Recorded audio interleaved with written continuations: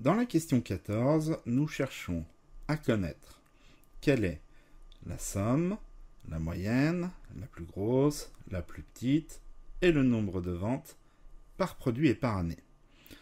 Donc cette fois-ci, c'est la totale. Jusqu'à présent, nous avons vu comment faire une somme, comment faire une moyenne, un max, un min, un nombre, mais jamais tout en même temps. C'est ce que nous allons réaliser dans ce tableau croisé dynamique. Onglet Insertion, tableau croisé dynamique, la fenêtre apparaît, tout est pré-rempli, je valide avec OK. Alors, pour réaliser ce type de tableau croisé, il faut toujours se tenir à cette façon de faire des tableaux croisés qui consiste à identifier les champs dans la question. En l'occurrence, quelle est la somme des ventes? Le champ montant va être déposé en valeur car nous avons un calcul dessus. Et là, on peut être amené à aller chercher dans paramètres de champ, changer les types de calcul, mais on, ne verra apparaître uniquement une moyenne ou une somme, donc on sera coincé. En fait, le secret, il est assez simple. J'ai la somme, maintenant je veux avoir la moyenne. Ben, la moyenne, c'est aussi le champ montant. Donc il faut simplement penser que l'on peut déposer plusieurs champs identiques dans un tableau croisé dynamique. Ça se justifie, par exemple, ici, quand nous avons un type de calcul qui change et qui doit apparaître dans le tableau. Donc, la moyenne. Alors, pour le coup, tant que j'y suis, je vais aller mettre mes formats monétaires. Voilà, donc pour la somme, voilà pour la moyenne. Et suivant la même logique, je veux avoir la plus grosse, donc ça va être un max. C'est toujours le montant qui est concerné, il y a toujours un calcul dessus, il est donc déposé à nouveau en zone de valeur. Et dans les paramètres de champ, je vais pouvoir chercher le type de calcul adapté.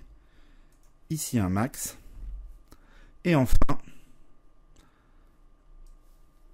un min. Alors là, on voit que ça, va devenir un petit peu compliqué de travailler euh, directement ici. Donc une des autres options, c'est l'occasion de le voir, c'est de double-cliquer ici sur le nom du champ. Et l'on voit qu'on fait aussi apparaître la fenêtre paramètres de champ de valeur. Donc là, pour le coup, je veux un min. Le format est à nouveau en monétaire. Et enfin, je dépose une dernière fois le champ montant. Double-clic sur le nom du champ pour obtenir les paramètres de champ de valeur. Et cette fois-ci, c'est le nombre de ventes qui m'intéresse. Par produit.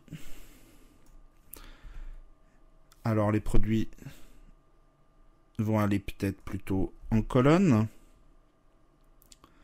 Pour l'instant en tout cas. Et par date. Je fais descendre des dates dans la zone d'étiquette. Je groupe mes dates en allant dans grouper les champs. Alors là, je les ai groupés par mois et par année. Je ne les veux que par année. Ben, c'est l'occasion de voir qu'un champ groupé peut être dissocié de telle manière retourner éventuellement le grouper à nouveau.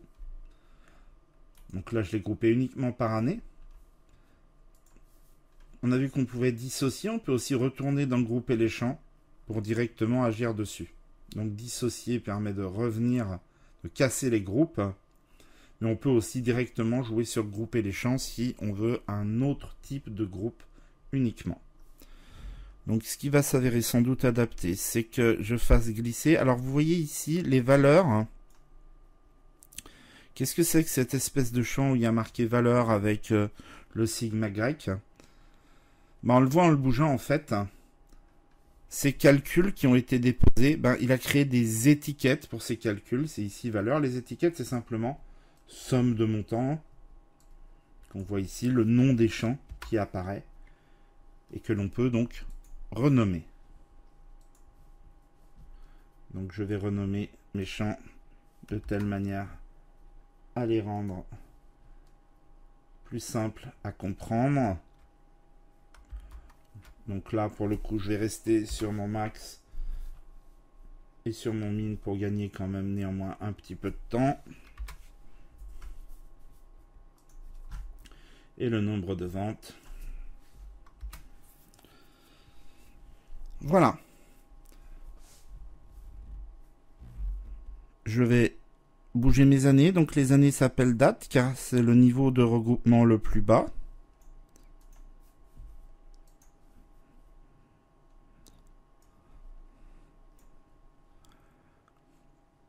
Et c'est ainsi que, à force de manipulation, nous arrivons à obtenir le tableau croisé souhaité.